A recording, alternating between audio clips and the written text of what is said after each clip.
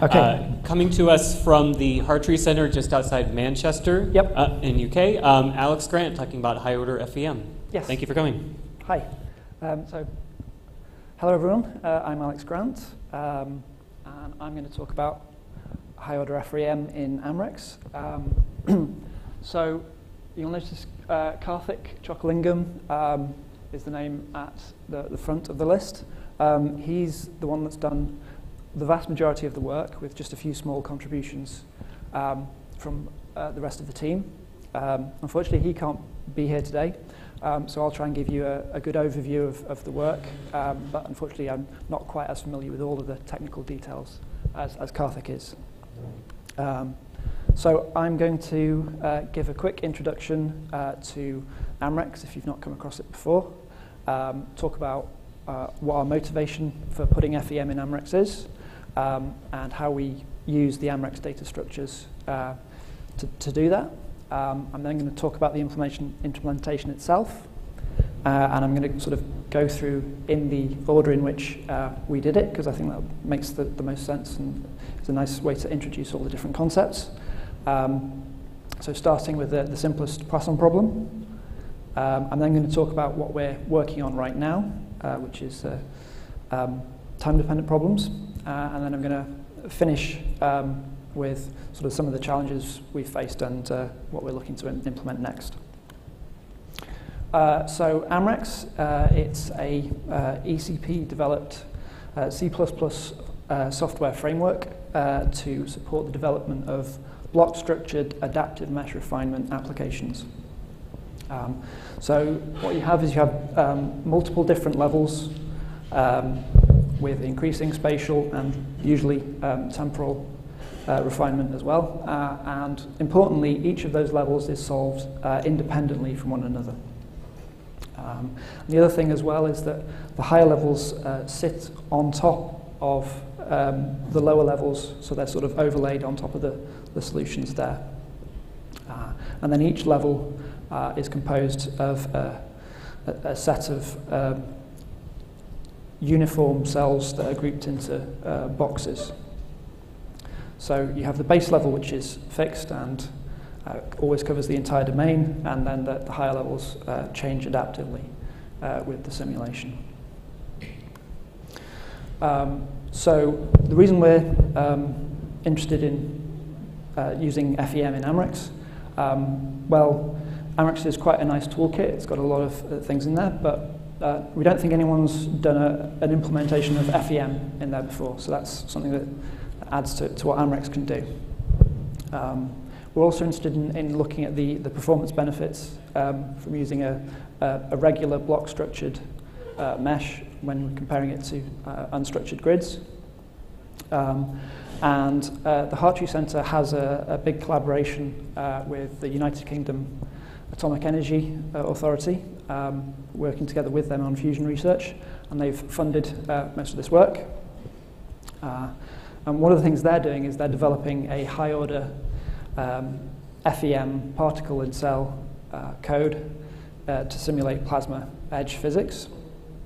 Um, but one of the issues they're having with that is they're finding it very difficult um, to keep track of uh, the particles on, on an unstructured grid. Um, so if we're using a structured grid, uh, that, that becomes very easy and the problem goes away. Um, so uh, another reason for using AMReX for this is AMReX um, has some capability of, of using embedded boundaries um, so that we can still support uh, complex geometries even on a, a, a block structured mesh. Um, and it's got a little uh, uh, graphic there. Um, that's not from our FEM implementation, that's a, a separate thing. Uh, but that does show that, that can have some support for um, fusion relevant geometry uh, there. Um, so yeah, the AMReX data structures, uh, they come in two forms. Um, they deal with uh, cell strength data or nodal data. Uh, and again, these are all split up into boxes, which are the, the red uh, outline there. Um, so um, whether you're using a cell or a node,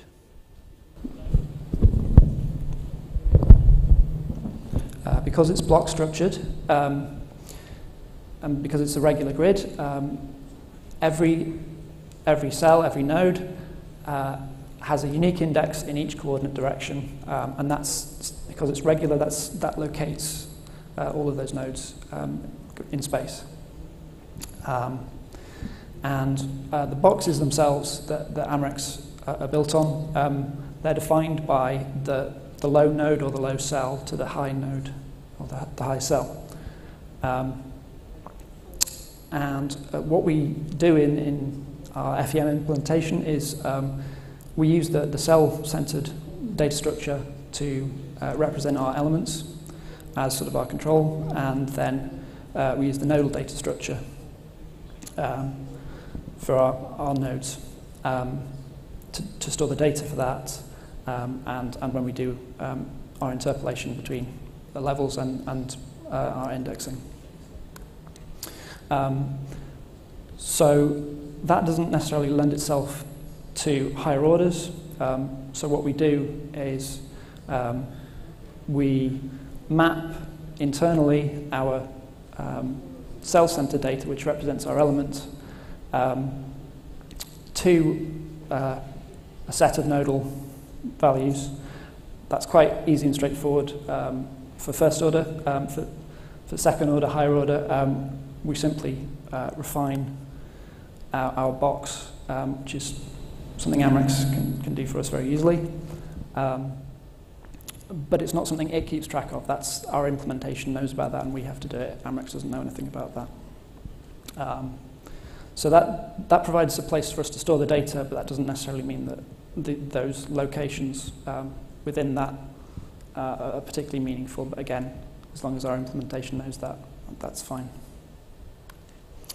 Um, yeah, so what we do is uh, on our uh, cell-centered data structure where we um, have our sort of control structure. Um, we go through element by element. Uh, and then on our nodal data structure, um, we go um, through all of the, the different nodes, the different degrees of freedom, uh, to go through and uh, assemble our matrices, force vectors there. Um, so moving on to the implementation, um, we started out with a simple Poisson problem. Um, so apologies, um, that, that should read, um, there should be an, an x there in, in the first equation rather than two y's. Sorry about that. Um, so yeah, we're starting out with a simplest possible Poisson problem. Um, uh, homogeneous boundary condition, um, zero at all the edges. We have also implemented uh, non-homogeneous boundary conditions. Um, and we uh, we are doing um, a coordinate transformation. Um, the, the picture here isn't obviously very exact because it's um, we're using uh, regular block structured grids. Um, but the advantage of that is that um, because it's a uniform grid, um, it, we only have to do this once per level. It's, it's going to be different at the higher levels. If I try one quick fix to the audio, Yeah. I think we're getting a little bit of feedback, and if I cut off the sound going from here out to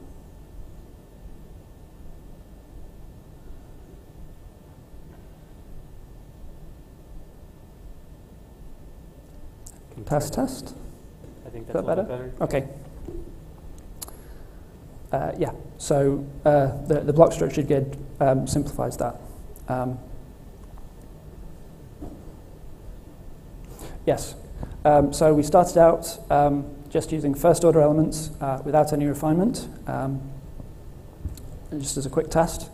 And uh, Karthik was able to implement, implement that quite quickly. Um, and when we compared the outputs to uh, MFEM, um, we, we found that we were in fact getting the correct result. Um, so that's not particularly interesting um,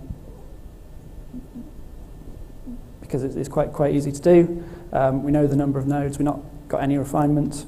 Um, so we need sort of a different strategy um, when we're dealing with uh, the multiple levels which we have to solve independently. So just before I talk about that, um, just a, a quick uh, note about the, the performance um, on this simple case. Um, we also looked at the performance compared to MFEM, um, only on a small, only on a small system. Um, but we did find uh, that the, there was some performance benefits there, which we, we would expect. Um, and in fact, we found that uh, our implementation uh, was up to 37% faster than MFEM. Um, and that, that is, I d- I don't know the breakdown, uh, but that's the solve and the setup time um, included in that.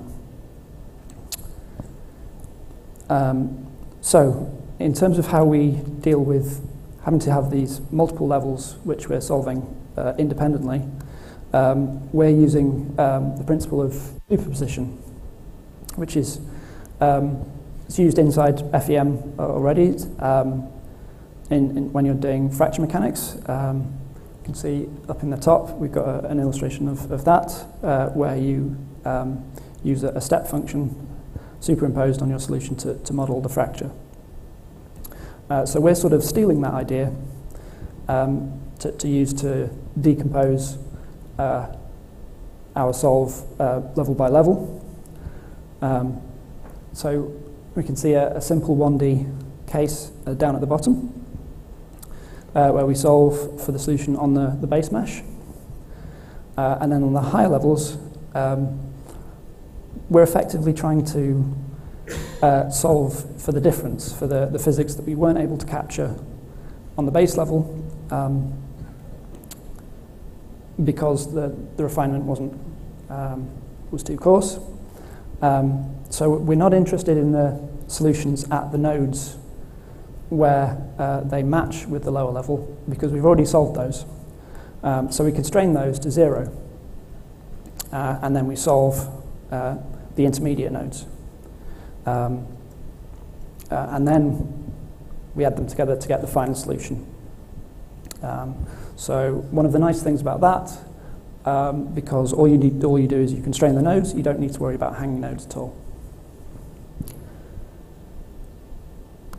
Um, so if we just go through our simple Poisson problem now with uh, an extra level uh, in a worked example. Uh, so firstly, we're, our master grid is this uh, cell-centered data that, that AMReX sort of defaults to. Uh, we start by converting that to, to, a nodal grid, just first order here. Uh, we solve our Poisson problem on this nodal grid.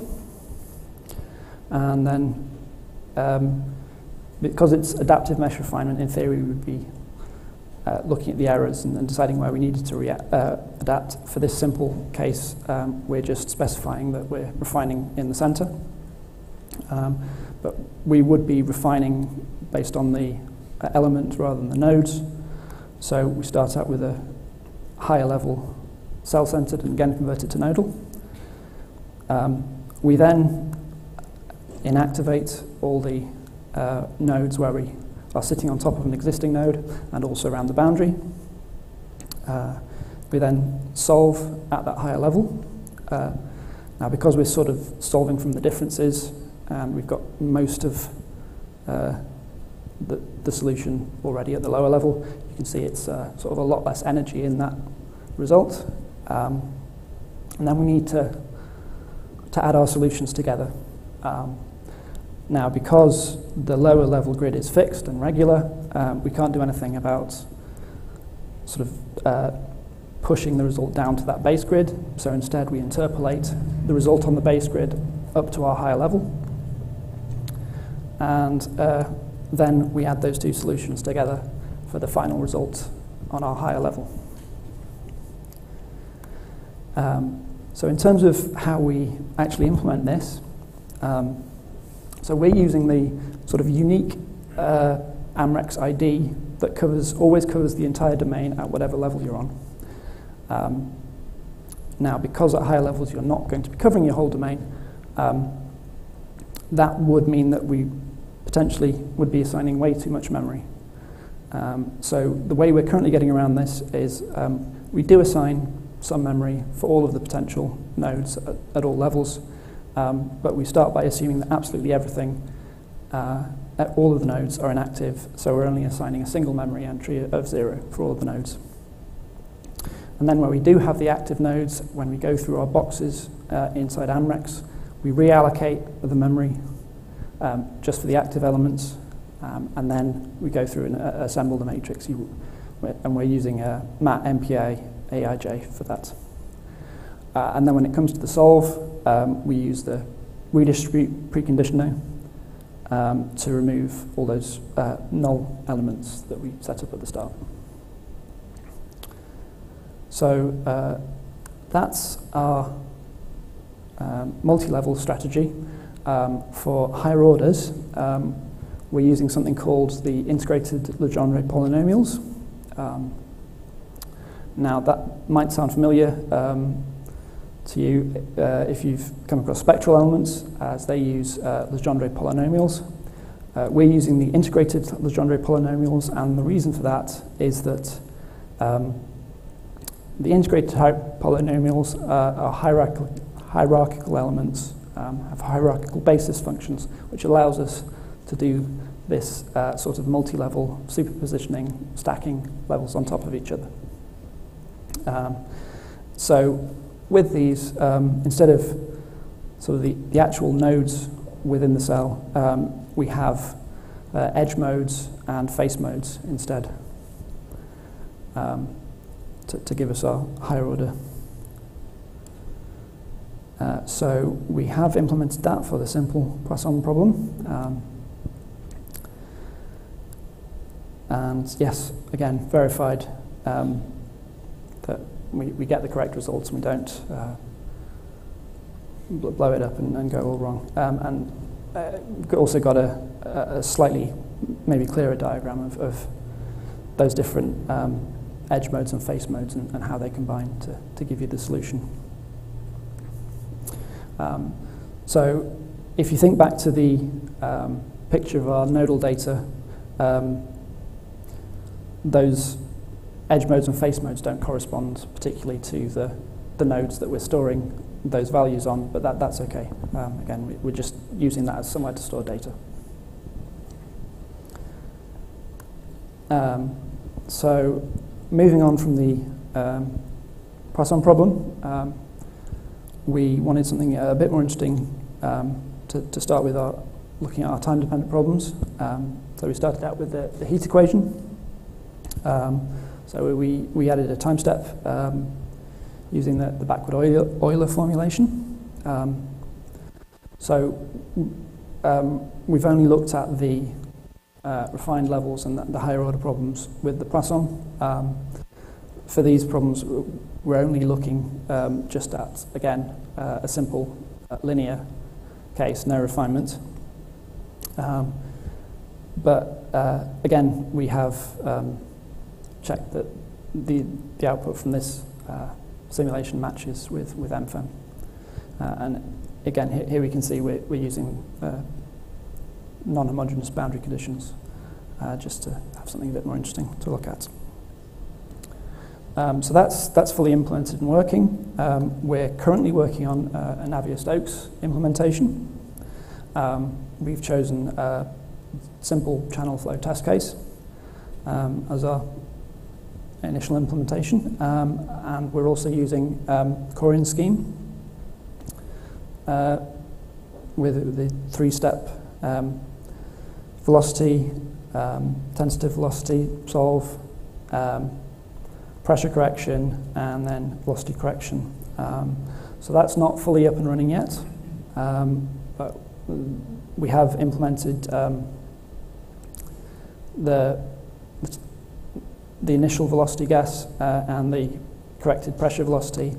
Um, and even though that's not giving particularly good physical um, results and diverges quite quickly, we, we are um, making sure that we're, we're getting the same non-physical results um, by taking a MOOSE implementation and, and, just breaking that down step by step as well. So uh, that should be complete soon. Um, so moving on to uh, the, the, challenges we've, we've faced. Um, so with these fairly simple, um, fairly quick uh, examples that we've done so far, um, we've just been focusing on getting the implementation up and running, and we haven't done anything about the um, data partitioning. So um, AMReX is using its data partitioning in boxes, where each box may or may not be on a different process. um, and we're just letting PETSc do um, its own decomposition of, of the matrix. Uh, so they don't match at the minute. Um, so for the Poisson problem, um, at least without any refinement, that's not a particular issue. We only need it uh, when we do our file output to check the results. Um, when we've got a higher level mesh, we need the results to uh, do our interpolation. Um, and for our time-dependent problems, um, we need the results for, for the next time step where we're assembling um, within AMReX rather than in PETSc. Uh, so to work around that at the minute, um, what we're currently doing is once we've got the once we've done the solve in PETSc, um, we just do a scatter to all so that uh, we can get the results back into AMReX. That's, that's not ideal. Um, so we know we need to fix that. Um, so um, we're not sure what the best way to do it is, um, whether we need to sort of change uh, AMReX, AMReX uh, the, the, indexing scheme that we're currently using in AMReX, which is nice and very simple, uh, or the way PETSc indexes, uh, look at um, DM method, some combination of all these, or some other options. So it'd be good to get um, some, some, some feedback on, on what the best way there would be. Um, even then, when we've got a good, uh, a, a, better split, but we're still going to have an issue with um, uh, needing to, to deal with shared nodes uh, and making sure we can get the, the local data. Um, so we believe uh, vec create ghost is the way to go there, but again, would be good to uh, just get that confirmed. Um, so it's just to mention, this is mostly um, an issue for the AMReX side, but also um, it's not ideal for, for PETSc as well, where it has to move the, uh, the data to, to, the correct process um, when it's doing its assembly. Um, so, yeah, so I talked about um, doing higher order uh, implementation and uh, multiple levels. Uh, what we haven't yet done is looked at doing uh, high order together uh, with multiple levels. Um, so the reason that's a bit more challenging um, is because when we have this linear system, uh, we can quite easily say, well, this node sits above a node on the lower level, we can just zero it, that's no problem. Um, when we have higher order and multiple levels, it's a bit difficult to say uh, sort of this face mode sits above another face mode. That doesn't really work. Um, so the way you have to do that um, in order to, to make sure that you're not sort of, because we're looking at the differences between the, the base and the, the higher level solutions, um, you need to, to go back to the base level solution once you've done your solve and found where you need to refine uh, and um, effectively linearize your uh, elements that sit underneath the higher level one. Um, so you don't have a conflict between the different levels. Um, and yeah, zero out the, the higher order modes uh, and then rerun your assembly and solve. Um, so that's going to have some performance penal, uh, penalty there and, and maybe um, reduce the advantage that the uh, structured grid has over the unstructured grid. Um, but that's fine, that's not a major issue. The, the bigger difficulty is that it makes it harder to um, look at moving the data between the different levels. Um, if you're doing your interpolation from your lower level and um, yeah, sort of the other way as well, going from the higher level to the, to the lower level. Um, so uh, one other thing we haven't really looked at much yet, um, thus far everything I've been I've shown has uh, been on a CPU. Um, we want uh, this framework to be um, portable. Um, AMReX has its own way of dealing with GPUs.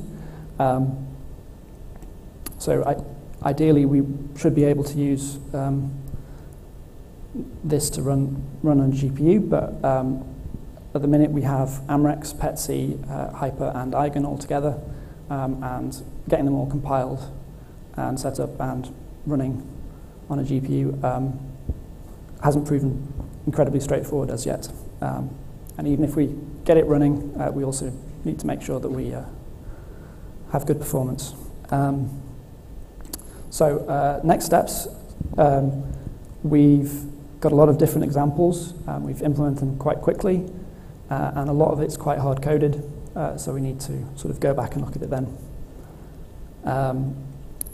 Once we've got our Navier-Stokes implementation, we need to look at um, this uh, Blob 2D fusion test case, um, which is one of the things that the UKA is really interested in. Um, that involves uh, solving for the electron de density, pressure, vorticity, and con convection length. Uh, so, as a summary, um, we think we've, we've got a good proof of concept uh, for the sort of first working C++ FEM implementation in AMReX. Uh, we're working towards uh, a real use case with Fusion applications. Uh, we think this uh, dynamic multi-level with superpositioning refinement um, is something that matches quite well with the way AMReX works. Um, and this is something that we are expecting to open source, uh, but once we've done the, the code restructuring. So uh, that's the talk.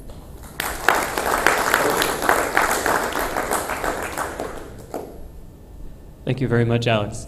So you asked some questions about sort of the, the right way to do things between using IS or DM to map uh, your data structures to the way that PETSc tries to think about things. And I'm not sure we exactly have the correct answers, right. but I'm pretty sure we at least have experience. So some people correct me if I'm wrong, but I think that one of the other box structure packages has implemented its own vec type. Was it Chombo or was it one of the other? Samurai? So um, we have examples of code where people have taken um, hierarchical nested uh, block structured AMR, and instead of trying to directly map it to PETSc degrees of freedom, they just wrap a vec type around what they're doing. Right. And we can at the very least point you to that and see if maybe if that's helpful for what you're trying to do. Um, other questions out there? All right, if not, let's thank Alex again. Good.